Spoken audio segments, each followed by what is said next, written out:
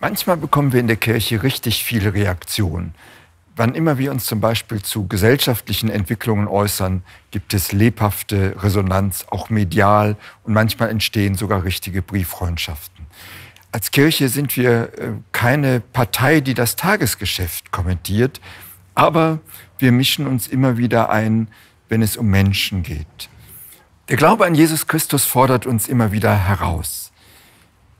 Jesus war nahe den Menschen, die am Rande der Gesellschaft waren. Er kümmerte sich um sie, er ging ihnen nach, er hatte ein Herz für sie. Die Botschaft vom Reich Gottes, einem Reich des Friedens und der Gerechtigkeit, die hat er den Menschen nahegebracht. Er hat Menschen bewegt und so die Welt verändert.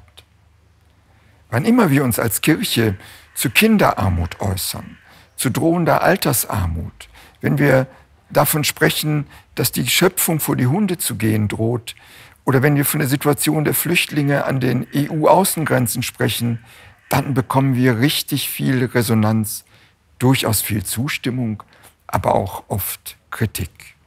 In den letzten Tagen ist mir eine Haltung begegnet, die der Kirche vorwirft, ihr seid in diesen Corona-Zeiten viel zu still.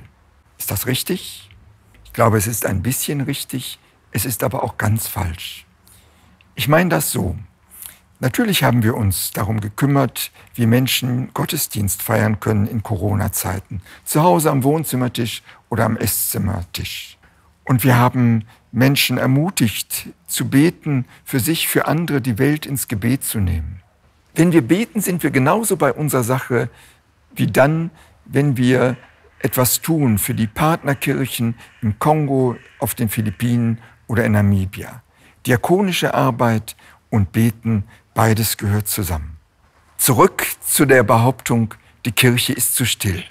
Ja, es gibt eine stille Seite in der Kirche. Da geht es um Diskretion und Verschwiegenheit. Seelsorgerinnen und Seelsorger arbeiten in der Stille.